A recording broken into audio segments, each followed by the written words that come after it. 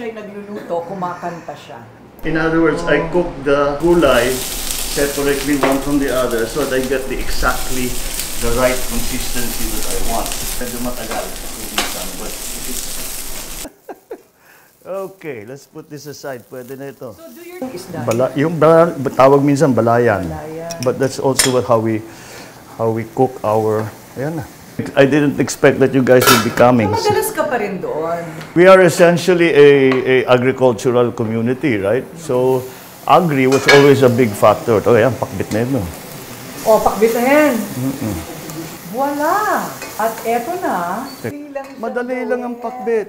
Basta ang sekreto talaga ng lahat ng mga dinengdeng, lutong Ilocano, kailangan sariwang sariwa. Yung okra, okay? Para sa akin, para sa akin, manghang na yan eh.